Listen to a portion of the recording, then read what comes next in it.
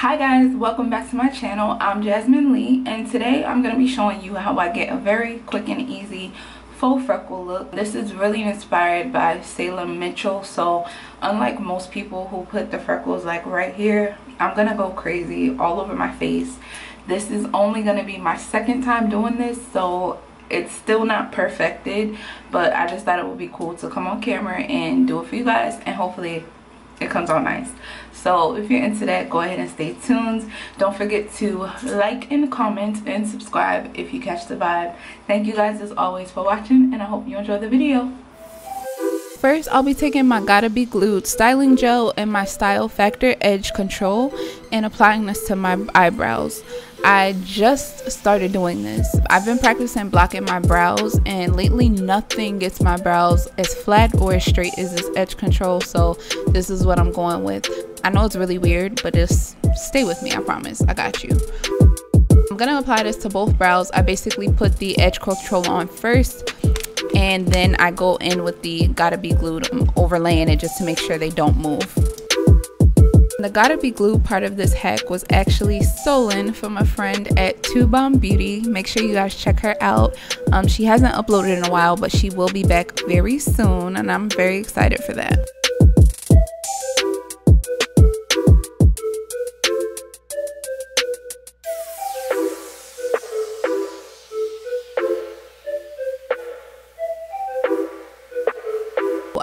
Using a baby hair brush because the spoolie was not doing the job at like really combing through that product and making sure they lay flat. So just in case you're wondering, that is a baby hair brush.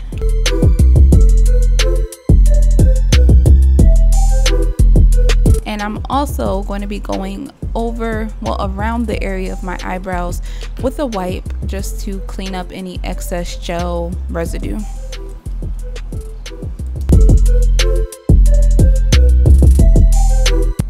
Now that that's done, I'm going to take my LA Girl Pro Concealer in the shade Fawn and I am going to conceal around my eyebrows.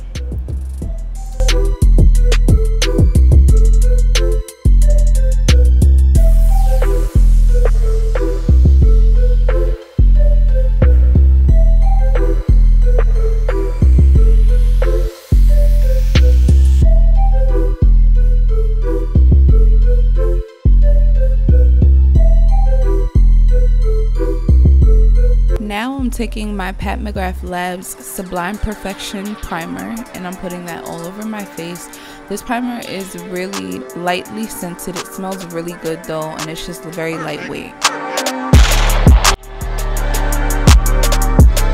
Now I'm taking my Pat McGrath Labs Sublime Perfection Foundation in the shade Medium Deep 26 and blending that out all over my face.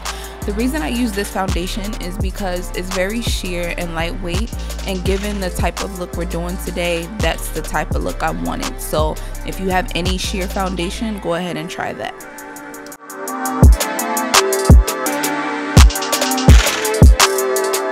Now it's freckle time. So I'm using the new ColourPop freckle pens. I've never ever used a freckle product before. I know you can use like eyeliner and things I just thought it would be fun to try this out. So um, what I got was the dark brown and the light brown. So that's the two colors they offer. I got both and right now I'm just dotting all over my face. Kind of random. Um, I am paying attention to placement at first, but as this time lapse goes on, you're to kind of see how I just start to just go crazy and not care about the size, the shape, the placement. Some of them overlap each other. And that's really like when you study someone's freckles, they're not all spaced out in their own area. Sometimes they do overlap where you have, you know, kind of unusual looking spots on your face. Um, some are darker, some are lighter. So I really took my time to study this um, and how realistic freckles would look in order to better do mine. So towards the end of this time lapse, you'll see more close up of just the shape, the placement, and all of that. Um, hopefully that helps. I didn't want to speed this up too much because again this is the focal point of the video so i wanted you guys to be able to follow along or at least see a lot more of what i'm doing which you can't if i sped it up too much. So i hope you enjoy. If you're not a fan of this go ahead and leave me a comment below and i'll make sure to just leave it speedy next time. Okay bye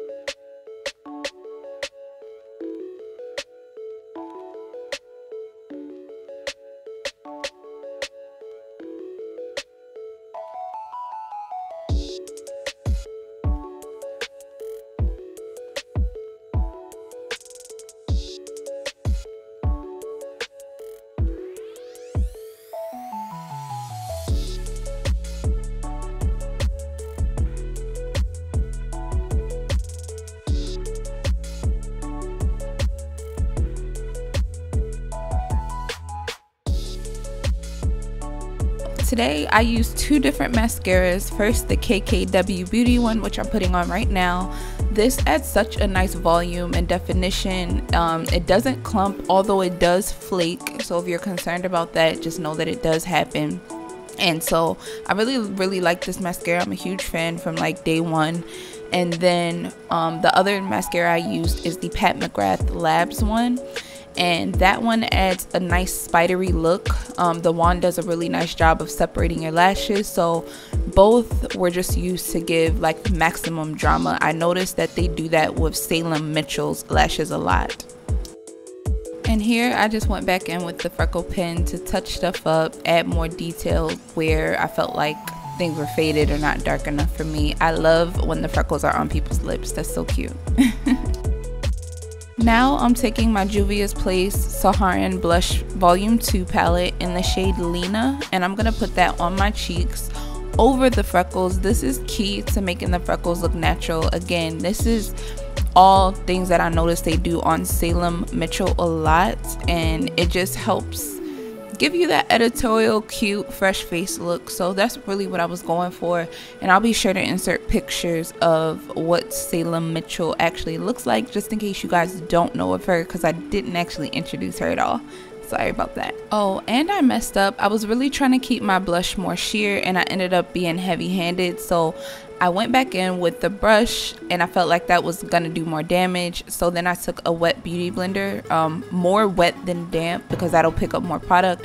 And I just started dabbing it out um, just to kind of shear the blush out and that did help.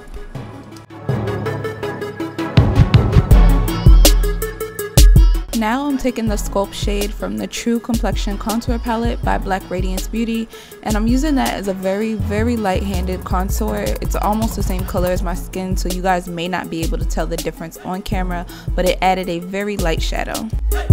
Now I'm taking my MAC and Teyana Taylor collaboration skin finish in House of Petunia and highlighting my face in certain areas. I always do my cheekbone, brow bone, and cupid's bow no matter what.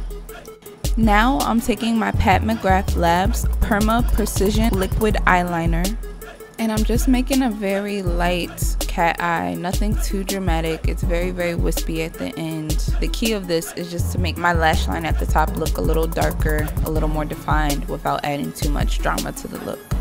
My direction with this was more faux, fresh-faced editorial, so hopefully you get that vibe alright guys so that's the finished look. Um, now i'm just putting on finishing touches getting my edges together putting on jewelry and lip gloss. For my lip gloss i'm using pat mcgrath's uh, flesh fantasy. And that's the finished look. I hope you guys enjoyed the video. Thank you so much for watching and have a nice day. Bye guys. Corona